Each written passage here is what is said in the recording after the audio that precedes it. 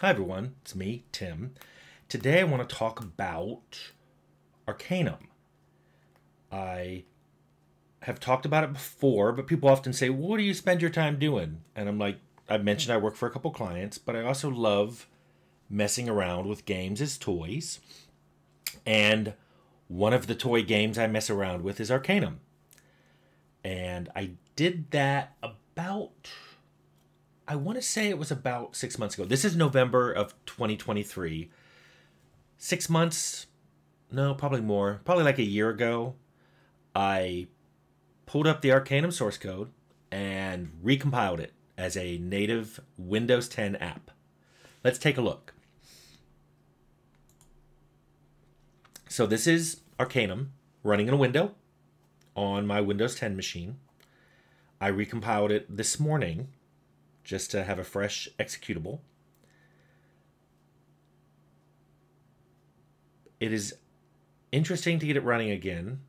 Uh, I'll talk about that in a minute. So this is our opening movie. I really like this movie. Blur did this movie for us.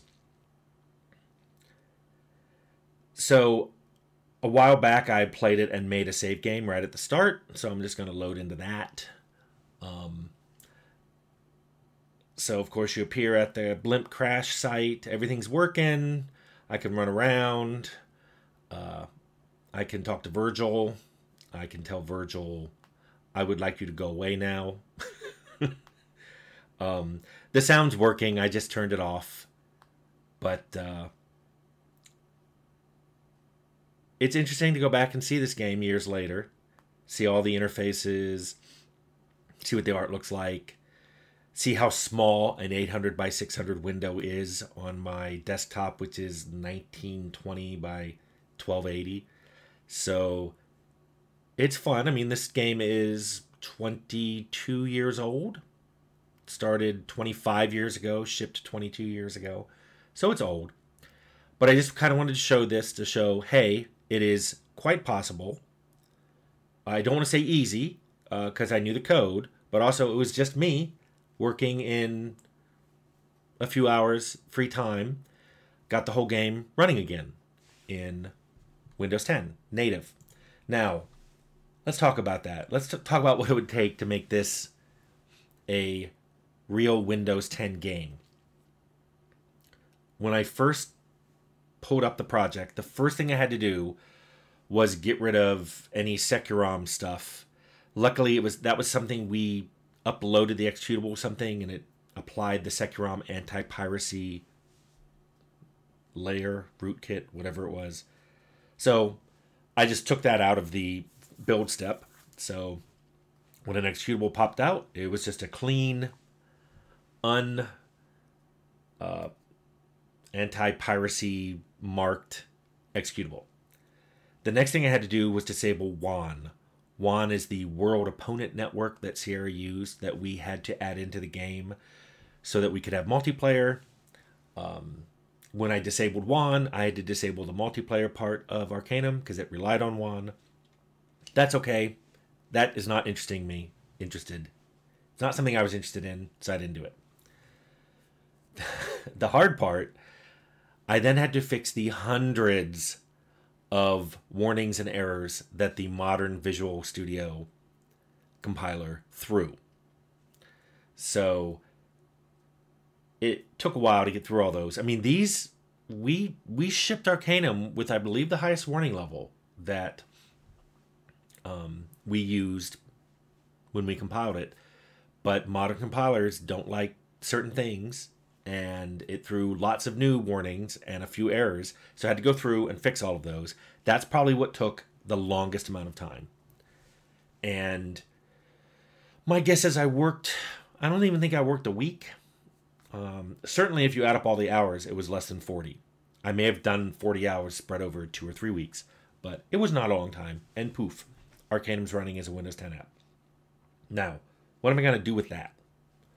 Well, the first thing I thought I would do is if I'm feeling up to it, I may go through and fix the many, many clouds of overlapping bugs that exist in Arcanum.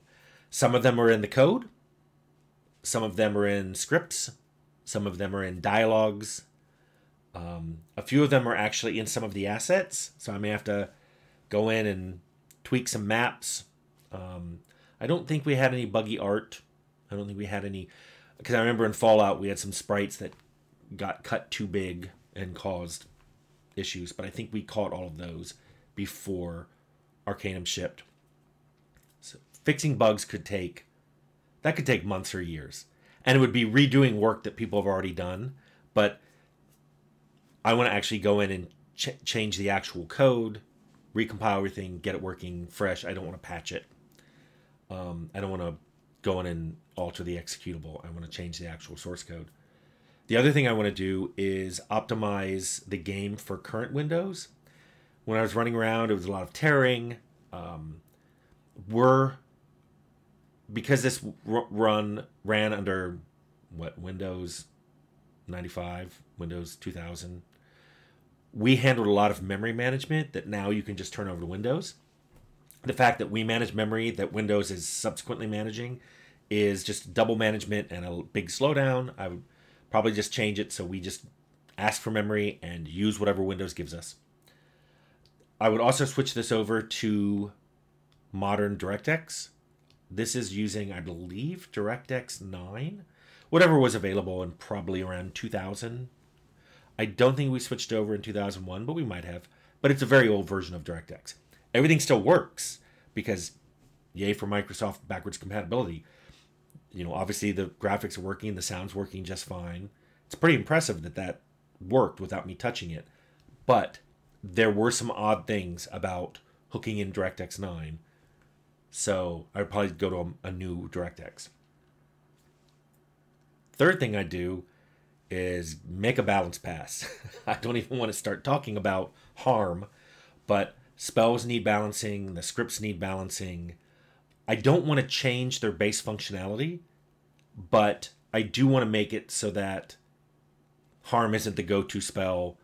Um, either throwing in a maximum of how much damage it scales up to, or putting a cooldown on it, something.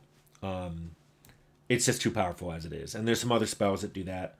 I'm also going to make a pass through all the skills and the tech schematics. I may even look at the attributes. I don't know if I don't want to tweak things too much. I still want it to be Arcanum but I just want to make sure things are more balanced than what we shipped with. Because I've mentioned this before, we kind of shipped Arcanum as an alpha.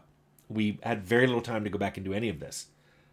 One thing I might do, because the code is still there, I could put back in the original multi point cost for things so that instead of everything costing one point, spells cost more, higher level spells cost more, higher level uh, schematics cost more and I can make that an option that you select when you make a new game. So you can play with the one point method or you could play the multi point method. I know some people didn't like like it. I I have a video about talking about what the multi point method was and what I thought broke when we made one point. But I put it in there as an option. The other thing though I think I might do, I haven't decided. I might toss real time because balancing everything will be hard enough but balancing it for both turn based and real time, that will probably be a nightmare. I thought about making it an option and maybe. Thank you, Windows. Maybe you can select it when you start a game, or maybe even switch back and forth. But I think a better thing would be just lose real time altogether, but then add some of the turn based options I put in later games, like letting monsters take simultaneous turns. So basically, you take a turn for every person in your party, and then all the uh, monster and NPCs go at the same time. So I could put things like that in relatively easy, because uh, I, of course, still have the temple code as well. But these are just things I'm thinking about doing. I want to play around with it, so I wanted to show it.